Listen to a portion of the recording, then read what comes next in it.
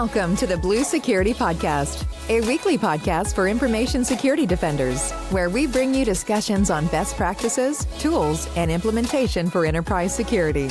Now, here are your hosts for today's show Andy Jaw and Adam Brewer.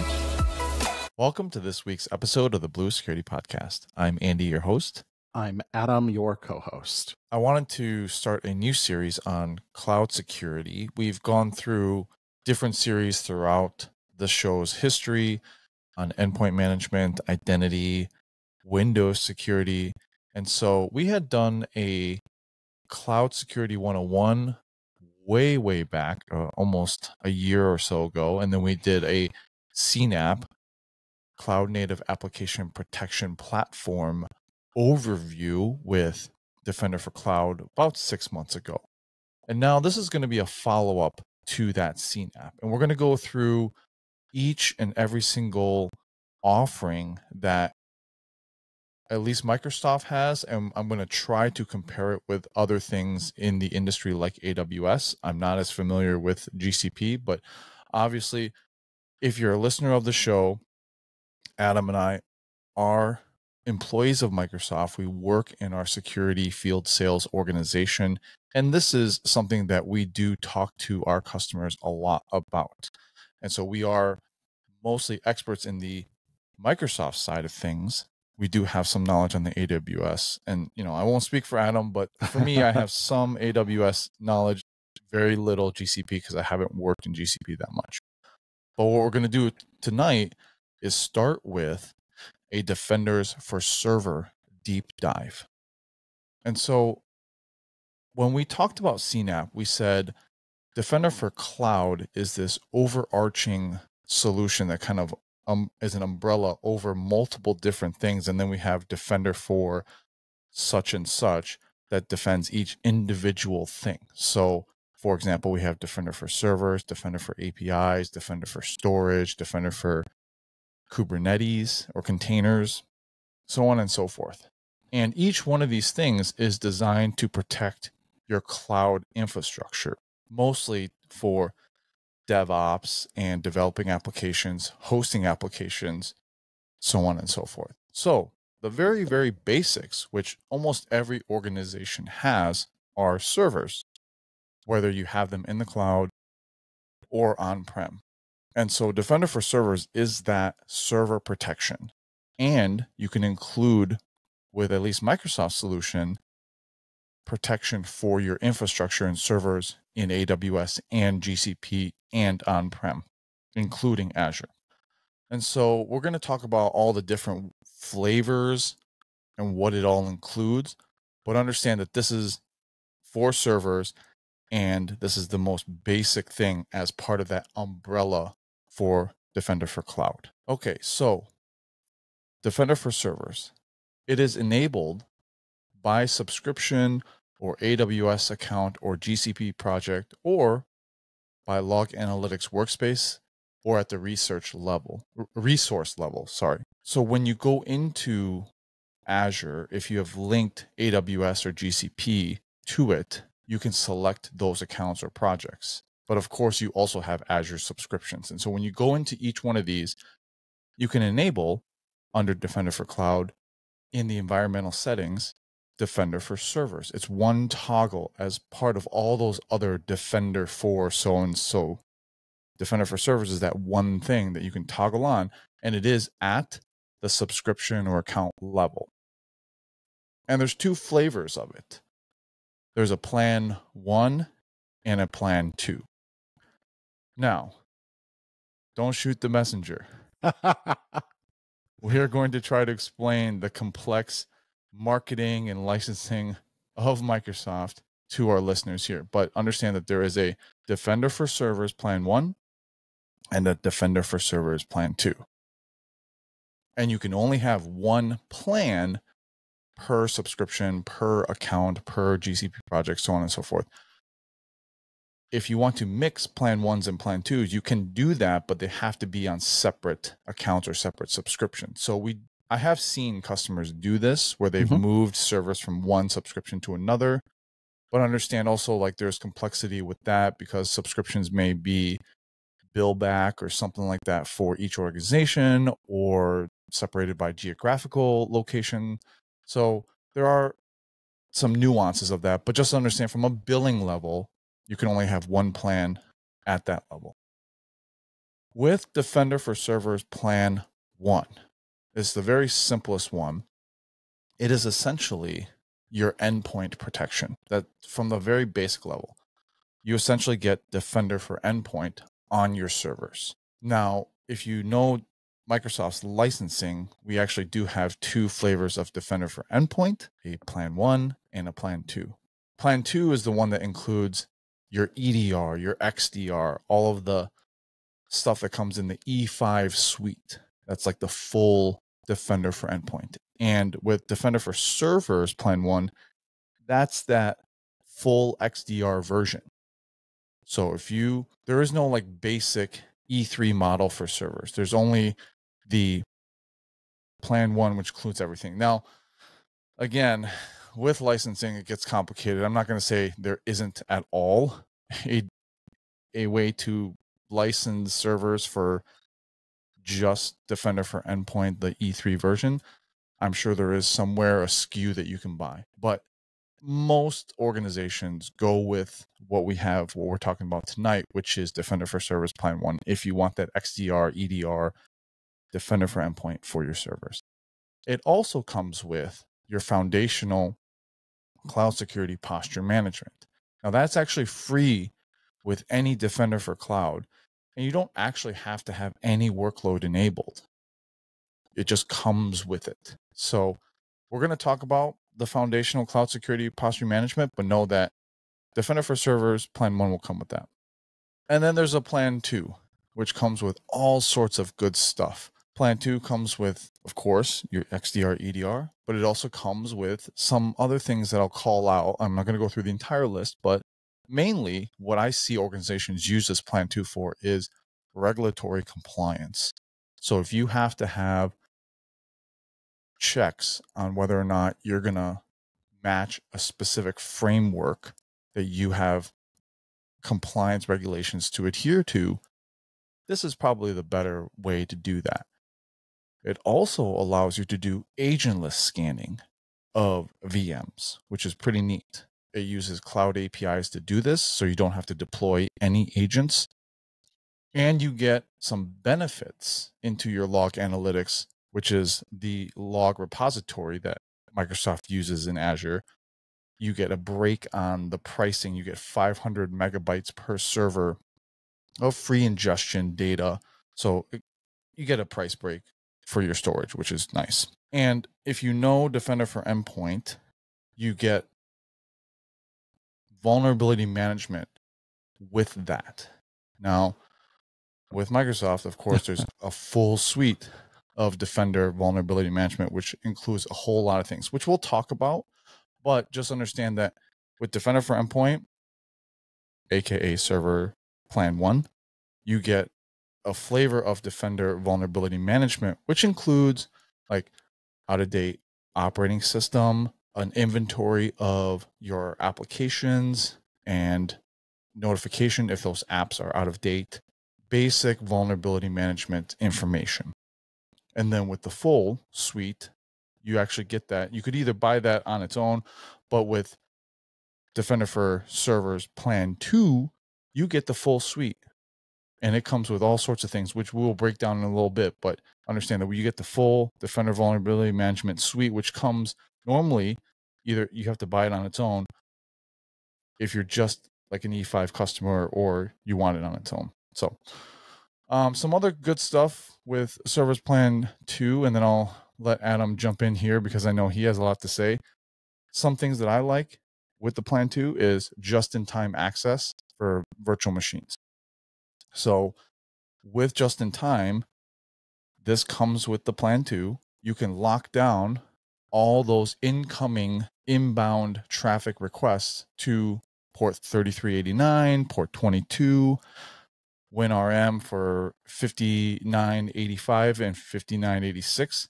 All those ports are locked down. There's a deny all inbound rule that's put on your network security group automatically and you have to request to open up. So the only way to get access to the VMs is to request it just in time after you've already authenticated using hopefully multi-factor and all sorts of other controls before you can get access to the VM. And then another cool thing is adaptive application control. So normally organizations will have VMs routinely run the same processes. With this adaptive application control, it uses machine learning to analyze those applications that are running on the VMs and it creates a list of known safe software. Those allow lists are based on your specific Azure workloads. And then you can, of course, further customize each recommendation. And when you try to run anything that's not defined as safe, you're going to get a security alert. So, a lot of good stuff. I just highlighted a few of the things. Adam, what are your thoughts on all of that? Great summary of everything in here. And I'm just going to repeat one point because it's so confusing. Maybe hearing another voice say it might help. Defender for Server Plan 1 includes Defender for Endpoint Plan 2. And I love Andy. I laughed out loud when you said, don't shoot the messenger. I agree that that is suboptimal in naming. Uh, however, that's how it works. So all you really need to know is if you want the full endpoint protection stack, including XDR, that's the the minimum bar to entry for Defender for Server. And then if you go with Defender for Server Plan 2, you get all that extra goodness that Andy talked about. I want to highlight a couple of things here. Andy mentioned this, but I'll reiterate it. It is absolutely possible, and we have customers doing this to where some servers are plan two and some are plan one. I've had some customers say, like our tier zero, tier one servers, we want those with plan two. Everything else can be plan one. Totally possible. So if you want to mix and match, you do have to do some subscription management, as Andy mentioned, but totally possible. Uh, the other thing, this sounds like it is cloud only. You need to have stuff running in Azure. You need to have stuff running in AWS. This can actually extend to all of your on premises servers, leveraging a technology called Azure Arc. And we've talked about Azure Arc on this show. We had John Joyner on to talk about it. But the very short version is Azure Arc allows a server to use Azure as its control plane, its management plane. And once you've done that, that VM essentially shows up in Azure like any other resource in Azure. And the cool thing is, then you can do things like enable Defender for servers, and it will auto deploy to it and do all the goodness more or less automatically. And then another thing I'll highlight, which we haven't talked about, but I think is a tremendous benefit, is all of this is built on a consumption model. You do not need to go out and procure licenses. You don't have to buy licenses upfront and guess how many licenses you're going to need in the next six, nine, 12 months.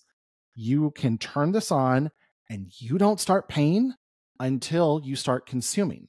So, also, if you're doing some cost management and maybe you have some servers that spin down, maybe on the weekends or during off hours, you don't pay for them because this is billed per server hour. So only the hours in which those servers are operational. So this can be a significant savings compared to the old way of buying the licenses where you buy a static license and you pay regardless of how much or how little you actually use it. So love the consumption based model, very favorable for customers in that if you have fewer servers, you don't have licenses you're stuck with because you have to wait till your next anniversary to get rid of them. You can just turn them off and you stop paying for it immediately within the hour. So really, really customer benefit of that that pricing model um, as well. And so Andy kind of walked through all of this uh, really well. Uh, the other thing, maybe I'll just again kind of mention, is with the Defender vulnerability management capability. There's a core set of vulnerability management that's built into Defender for Endpoint, and then there's an premium vulnerability management offering if you're on plan two, you get that. So you get the much more enhanced vulnerability management reporting automatically. And then one last note Andy mentioned log analytics and how there's that free ingestion benefit 500 megabytes per server per day, which is tremendous. Um, one of the benefits of Sentinel moving to a unified pricing model is it used to be, by the way, when you had Microsoft Sentinel, which is Microsoft SIEM and SOAR solution, uh, it used to be you got two line items on your Azure bill. You got a Sentinel portion and you got a log analytics portion. And this benefit only applied to the log analytics piece. Well, now if you have moved to the unified billing model with Sentinel, this benefit applies to all of it. So this benefit has actually gotten better with the unified Sentinel pricing model to where this acts effectively is not only 500 free megabytes per day per server of log analytics ingestion. If you are putting that in a Sentinel workspace, it's free Sentinel ingestion as well.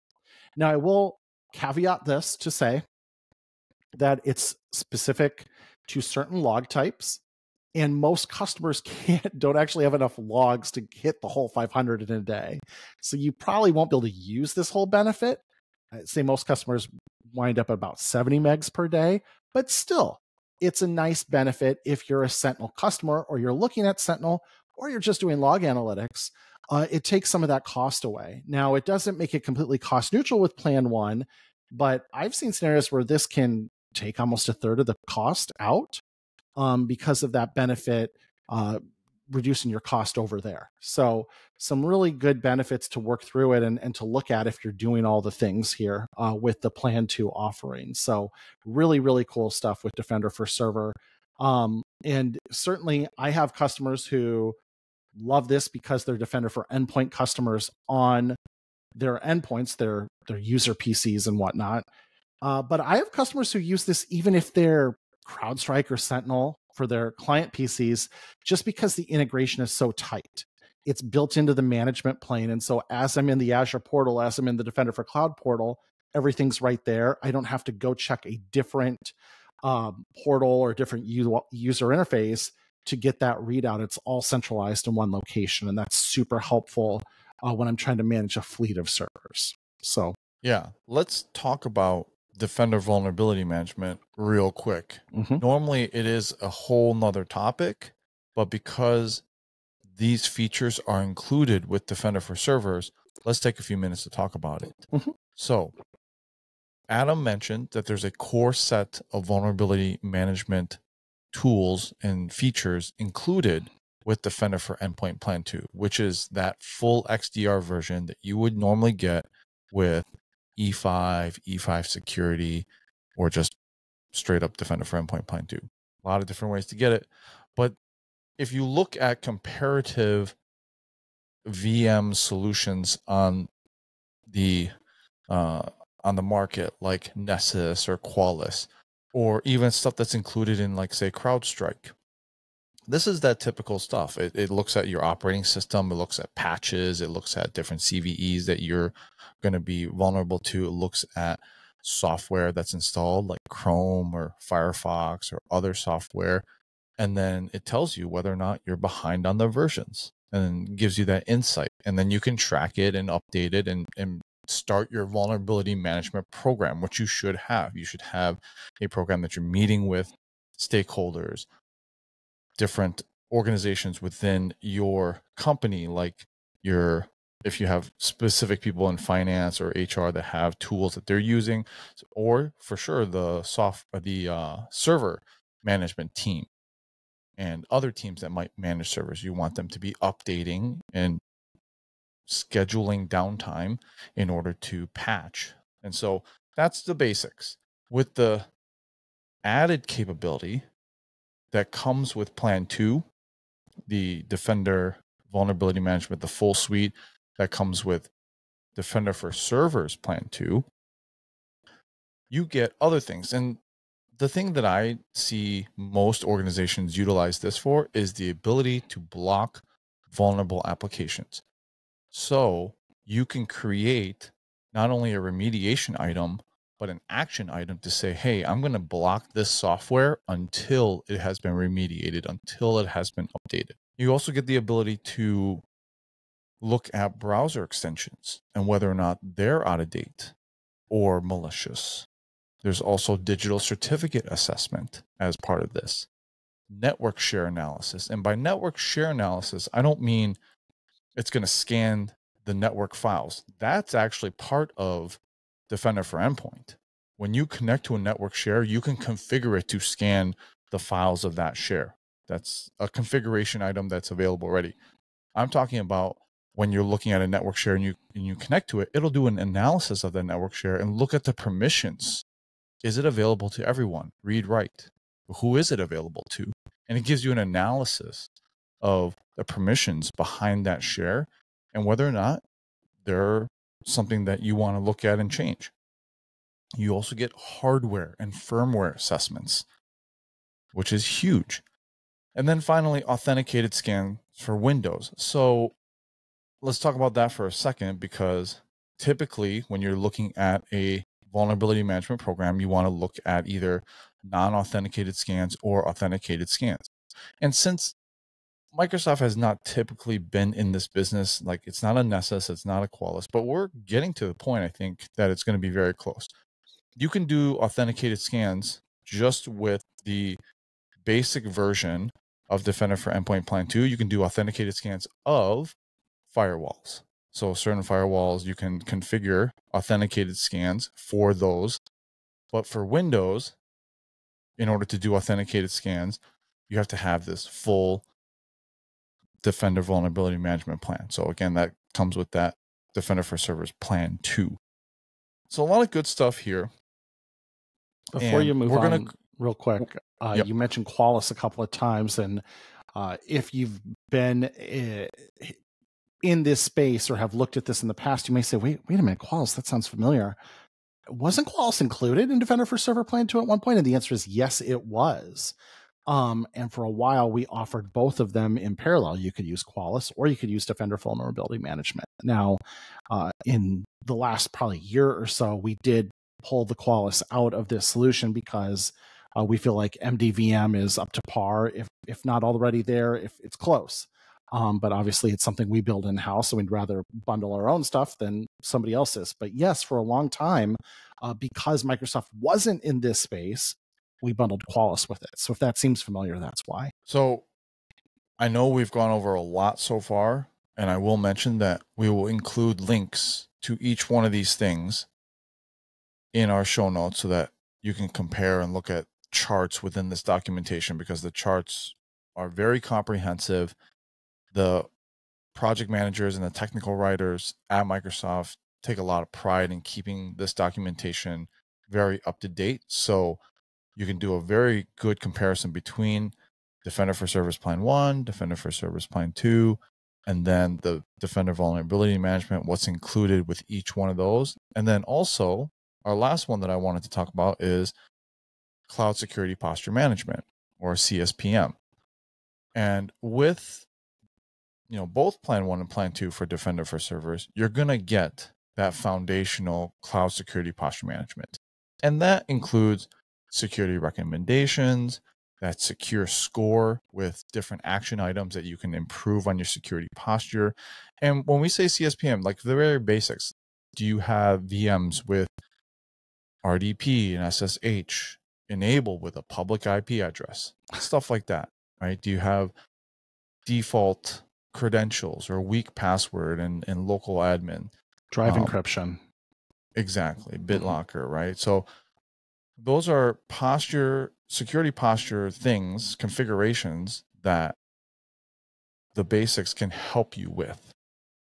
And then when you get into other things uh, the the biggest thing and i'm not going to go deep into the full version of cspm because that's a whole nother topic and none of that is actually included with defender for servers plan 1 and plan 2 but what i the biggest thing that you know i will just mention that I see most organizations go to the full version of CSPM is the attack path visualization. Mm-hmm. And that is mm-hmm. super helpful.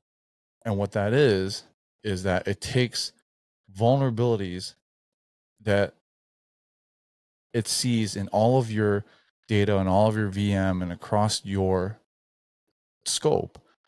And then it says, okay, from this vulnerability, I can get into this resource and escalate and laterally move and get to this, you know, crown jewel. And it'll map it out for you. It'll essentially think like an attacker and show that to you how they how an attacker would actually move through your organization based on your vulnerabilities today. So that attack path analysis is really cool. But we're gonna we can talk about the whole Defender CSPM suite in a whole nother show. But understand that you're going to get that foundational cloud security posture management with both Plan 1 and Plan 2. And it's going to be at least a good start in managing your security posture. Great call out in, in case someone is doing a checklist or comparison to know that uh, CSPM is actually something we've effectively given away uh, in Azure, going all the way back to when it was Azure Security Center. Uh, did it in Azure and then have over time extended it into AWS and GCP and even on premises as well. So here's another plug for Azure Arc enabling your servers, even if they're sitting on prem in your own colo or your own data center.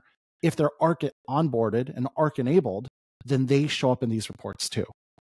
And if you make the connections, it's API level integration with AWS and GCP. It'll leverage kind of the existing uh, effective equivalents over there in, in those platforms to also give you that consolidated view. So, one really compelling part of this, even foundational CSPM, is it can give you that readout across your data estate, across your infrastructure estate, uh, not just in Azure, but on prem and other clouds as well. So, really powerful. Um, and then I'll just call this out. There's been a lot of solutions where Microsoft has launched like a a, premium Defender vulnerability management, a premium CSPM, um, a premium identity governance solution in recent months. And for all of those things, and this included, we didn't take something we were once giving away and then started charging for it. We built new capability, new net new functionality, and that became a paid offering while respecting and maintaining the existing solution for what it was. So just know if you've been using this for many years and you're saying, oh, what? Now you're going to charge me for it? Actually, no. The thing you've been using remains included. Uh, there are additional capabilities available. And like Andy said, we probably can and should do an entire show on Defender CSPM. Yeah. And I will reiterate one more time that Defender for servers, Defender for cloud is vendor agnostic. It does work in AWS, it works for GCP, it works for on prem. Mm-hmm. And again, I don't know the intricacies of AWS's solutions, but I don't think that they extend to third parties. So Amazon GuardDuty and Security Hub I don't think will extend to Azure servers. I could be wrong, and if I am, I'll, I'll find out. But um, I don't think that they do. And then also, they don't have an endpoint protection, which is really interesting. Amazon doesn't have its own. If you use AWS, you can go to their marketplace and purchase a third party EDR solution like CrowdStrike or Sophos or something like that. Amazon itself doesn't have its own, which is, I think, really interesting. So just know that you're going to get, you don't have to go out and buy something else. You can, you get XDR and EDR included with the plan one and of course with plan two as well. And, and then, as long as you're talking about multi-cloud support, don't forget multi-OS support. Uh, Defender for Servers is absolutely available for Linux VMs as well. Absolutely. Yes. Both Windows and Linux. So hopefully you learned something. Adam, do you have anything else that you want to add? I'll just do a plus one on the documentation. You talked about this, Andy. It'll be linked in the show notes. Uh, Microsoft documentation can be uneven in quality. I'll own that. um, I'm sure most of my peers would as well. I will say the documentation for everything we just talked about is sensational. It's some of the best we have uh, extremely comprehensive, clear, detailed tables that lay out the difference in functionality. And what I love is every line item on that table links to a detailed description of the functionality. So if you see something that says like adaptive application controls, and you're like, oh, what's that? I remember Andy talking about it. You can click on it and it'll take you to the page that talks about that in depth. So really good documentation. I know we threw a lot at you verbally and it's hard to internalize all of it. Uh, focus on the high level messaging and then go check out the doc and it'll all make sense to you. I'll follow up with one final thing I want to make sure that nobody gets in trouble here because this has happened to some of my customers. People assume that when they buy E3 or E5, that Defender for Endpoint comes with for servers, Mm-hmm. and it actually doesn't. So with E3 and E5, there are user licenses, and you're going to be licensed to use them on user endpoints, but you're not going to be licensed to do it on servers. So make sure that you have the correct licensing. We do have legacy licensing that you can buy like per server, but Defender for servers here, what we're talking about with these plan ones and plan two, the plan one, if you just want EDR, that's what you have to buy. So make sure that you have the correct licensing for your servers. If you're an organization that went out and bought E5, you're like, have everything. If you didn't include your servers in that as part of the EA, then you technically are not licensed to do that on your servers. So I've seen some organization get in trouble, and I wanted to make sure that that is clear. Great call out. Absolutely. So the E5 covers your user devices, as Andy said, also does not pool. Um, you can have, I believe it's up to five devices per user. Maybe it's more um, for Defender for Endpoint. Uh, you can't just say, well, we have, um, you know, a thousand users times five is we've got 5,000 licenses. And so we're only covering 2,000 endpoints. So we've got 3,000 to play with. So we'll go put on 3,000 servers. It doesn't work that way. Uh, however, uh, Andy referenced this. I'll just clarify this point as a final point again because we, we're trying to make this clear. We do still sell, and you can still buy, and customers have bought a thing called, again, don't shoot the messenger, Defender for Endpoint for Server or Defender for Endpoint Server. And it is a SKU. It's a thing you buy on your enterprise agreement. It's $5 per server per month, I think, effectively, something like that. Um, ask your Microsoft rep for deets. Uh, that is, again, like that kind of quote unquote old school flat uh, cost. You pay no matter what. If you're using it, if you're not using it, you can uh, add more licenses at any time. You can only true them down at, at anniversary, et cetera, et cetera. All the, the benefits and draw, drawbacks of an enterprise agreement. What Andy and I talked about again, consumption based pricing. You you pay as you use it and not until you use it. So that's the other thing is like you don't need to go procure a thousand licenses and then they sit for two months while you're rolling it out. You're only paying for them as you roll them out. So this is really the way to go. If you have that existing like SKU, that legacy purchase, and let's say maybe you want the Defender for Server P2 capabilities and you don't want to pay all over again, you want to kind of step up. Talk to your Microsoft account team. There's actually ways to do this. They're way out of scope for this show, but it is actually possible if you want to kind of take those legacy SKUs and marry them with the modern kind of consumption based model. There's there's ways to do that. So ask if you need to. And I'm learning about all this pricing stuff too. And if you are part of that, you know, negotiation team, and and I know a lot of IT professionals and managers are in those EA contract negotiations. Adam, correct me if I'm wrong, but because it's consumption based, if you have a MACC discount, then that could be applied to this as well, correct? Correct. So some customers have negotiated Azure discounts where they get a discount on all Azure services. Uh, that would apply towards this. So that is something you can negotiate. Um, it is actually possible as well to negotiate per meter discounts too. Um, that is possible. Uh, obviously, you'll need to speak with your Microsoft account team on that. Um, but yes, just, just to be aware, like if you're accustomed to, we get X level of discount on our enterprise agreement. I don't want to come over here and throw that away and pay more for the same thing. I'm not going to do that. Uh, just know there's ways to make you whole. There's ways to to do do some of that sort of thing. So if you if you have something that's preventing you from going to this model, ask. I, I would say your Microsoft account teams are incented to to move folks to this consumption based model because it's better for Microsoft and better for customers. It's truly a win win.